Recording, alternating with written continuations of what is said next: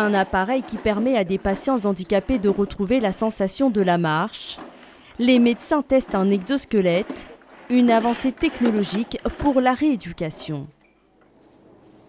On est euh, sur euh, du matériel informatique où on va rentrer toutes les données du patient.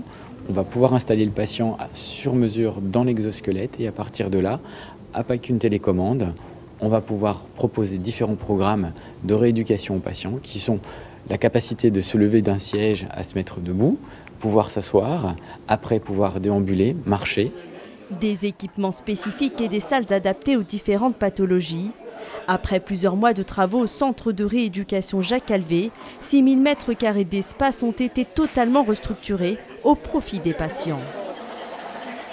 Ce qui est intéressant pour nous, c'est qu'on cherche à nous donner une certaine autonomie dans la, dans la rééducation et nous, à nous de voir ce qui nous manque par rapport à notre quotidien et à le travailler après en, en salle.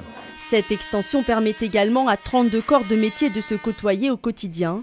C'est le cas de cet orthoprothésiste dont l'atelier dorénavant se trouve au cœur du centre. Ce qui est super important aussi, c'est d'avoir la proximité notamment avec les ergothérapeutes ou les kinésithérapeutes parce que eux voient les patients au quotidien et peuvent euh, détecter des petits réglages à faire au quotidien.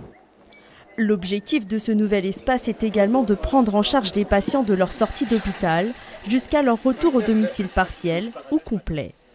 Au jour d'aujourd'hui, quand il va arriver euh, sur notre nouveau plateau, il va pouvoir avoir une partie euh, destinée à la rééducation, ensuite une partie destinée à la réadaptation et réinsertion. 7 millions d'euros ont été investis pour réaliser ce projet.